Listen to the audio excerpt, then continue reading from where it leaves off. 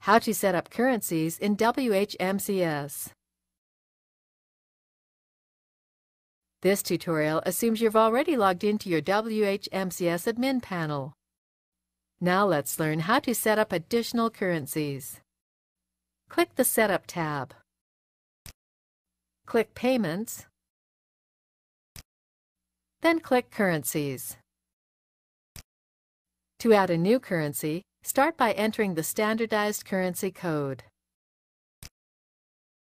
Enter the corresponding prefix, such as a dollar or pound sign. Enter a suffix so your clients know what currency they're seeing. The default format is fine, and the base conversion rate to US dollars can be left blank and updated by WHMCS, as we'll see shortly. Click Add Currency. That's it. We've successfully added the Canadian dollar to our list of currencies. Click Update Exchange Rates to have WHMCS automatically fill in the current exchange rate.